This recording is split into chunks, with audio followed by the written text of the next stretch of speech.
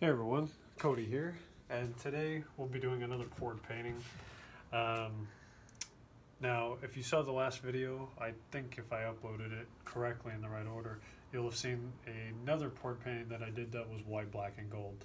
Now, I haven't put the paints away, and in some other video I talked about how I like to do multiple paintings of the same colors, or at least some of the same colors, so that um, before I put everything away, I can just use it again before I have to clean it up and get different colors out. So today I'll be doing another black, white, and gold painting, but I'm also going to add some red so that we get a little bit of pop to it. I did a painting a while back called Casino Royale that was red, black, white, and gold, and I really like that painting. But that was not a poured one, so anyway, we're gonna that's what we're gonna do today. Now I'll run through the the uh, the stuff real quick.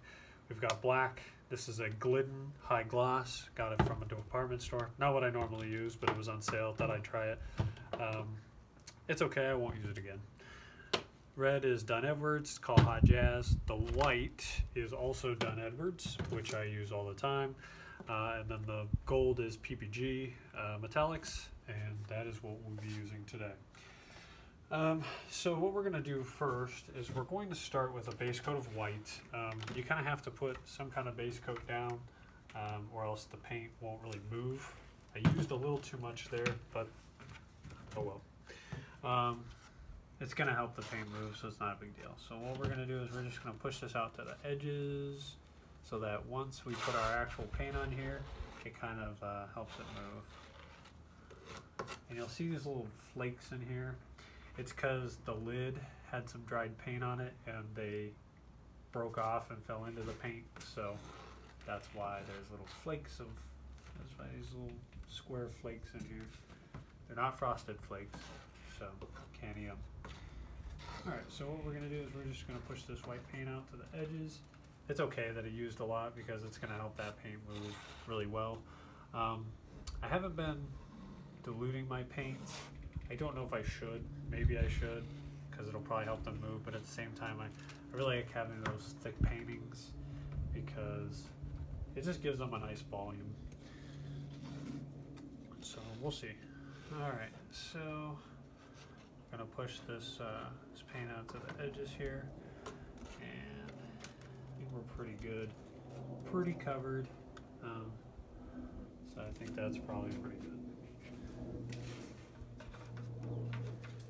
I reused my paint sticks and stuff, so I just put it in a bucket of water.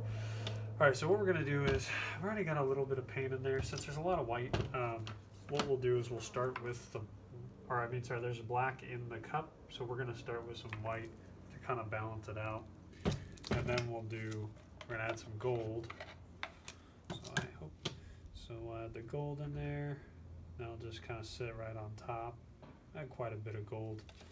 Um, then we'll do some red to kind of break it up since to make sure that all the colors in there. And then once, once we've got the red, you can see the color sitting there. We're gonna go ahead and stack it one more time just to make sure that it's enough paint to cover the the canvas. So we've got black, and then white.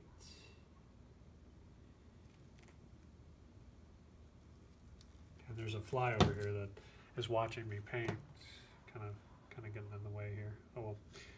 All right, so then we'll do, no, go away, friend. All right, so we'll do a little bit more gold and a little bit more red and that should be all the colors. You can see that they're sitting on top. I'm not going to mix them because when I mix them, they start to turn gray. I really don't want that. So here we are. We're going to put this right in the center and we're just going to release the cup and I'm going to take the, the little entrails here and just kind of put them around the edges. This will give it, you know, this will kind of fill out the painting and help it move once it gets to those edges. It's also going to make it so that you know, I'm not kind of making this cloudy.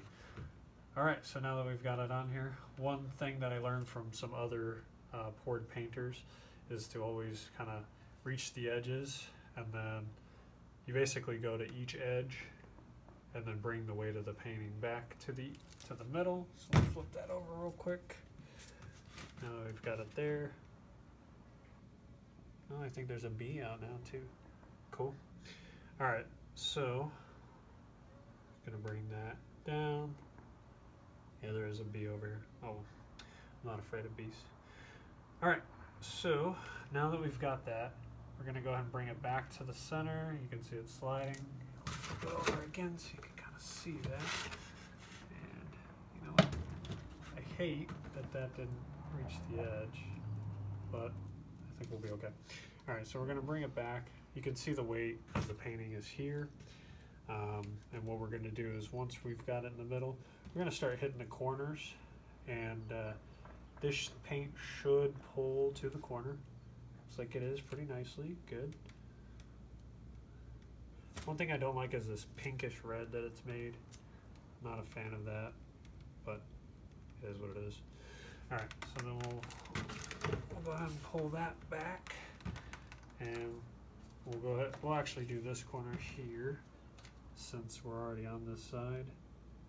So the paint doesn't have to go over itself too much. Cause I mean, you gotta think that it's, every second that it's on here, it's drying. So we don't want it to dry too much.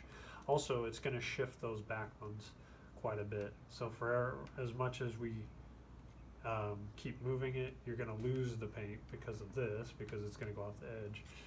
Um, so you're losing paint, but you're also, it's also drying.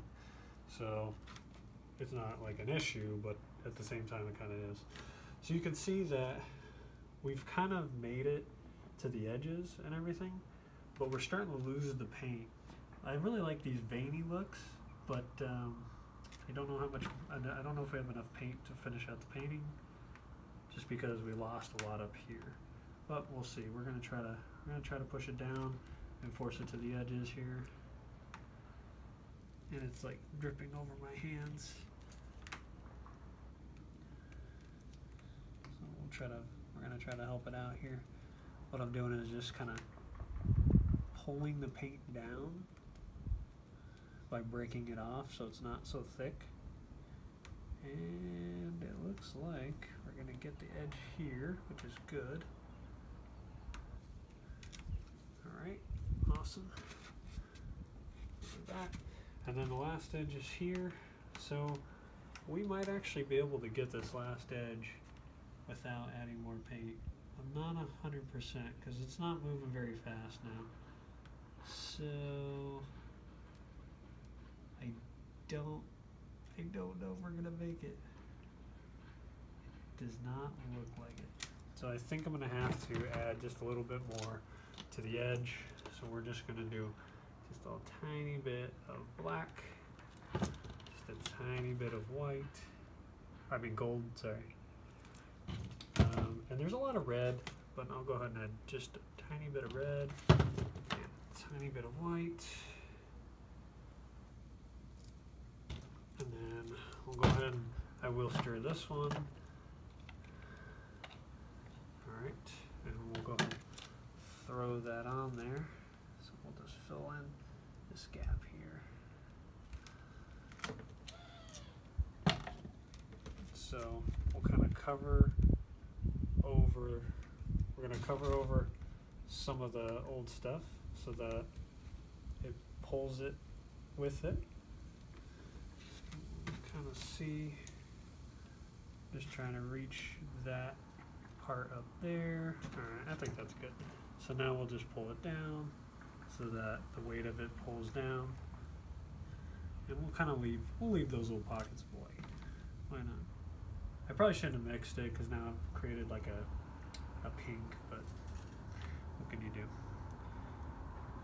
And once, once it's got kind of enough off, want to lose some of those little cells.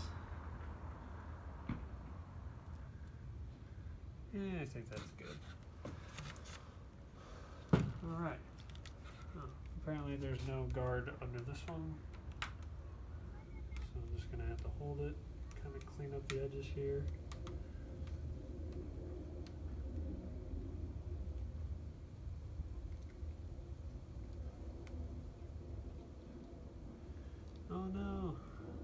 still on there. That sucks. If I can get it off.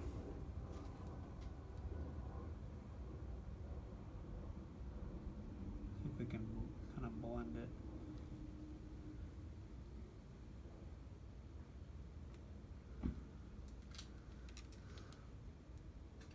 Well, it touched the edge, but I think it's okay.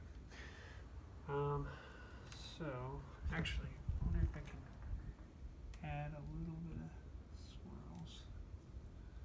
Let's do this. Let's wipe some of that off. Get some of this good paint on there.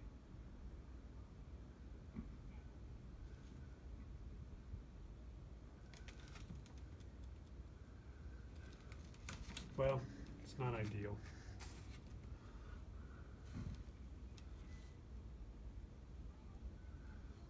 Actually, what I'm gonna do is there's a little pocket of paint right there. So I'm just gonna dip that in there. And didn't do a whole lot. Well, that's gonna bother me. oh, you know what? There is that is so cool. Um, want to pour some of that on there and then try to drip it off. So let's just do a little bit of that.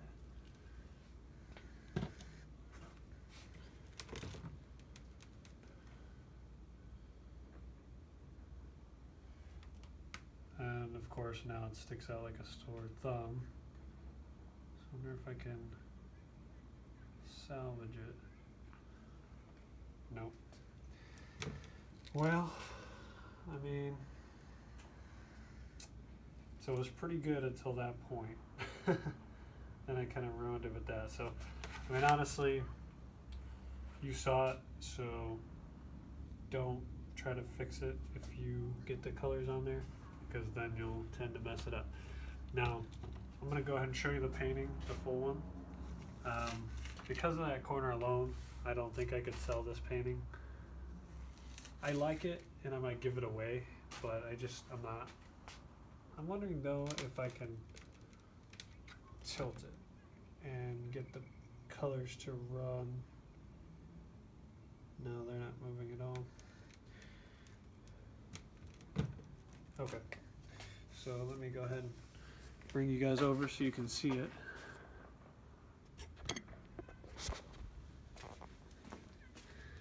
So overall, I mean, aside from this corner right here, it actually turned out pretty good. And it's kind of sad because I really, I was starting to like it, but because of this corner, I don't know if there's anything I can do. And the paint is set so much that if I tried to move it, I don't think it would, I don't think it would help. I'm thinking about maybe adding another layer. Um, so I don't know. Well, I probably won't. I'll just leave it here. But anyway, guys, if you guys like this video, please like, rate, share, subscribe. And uh, yeah, I'll see you guys in another one. Take care.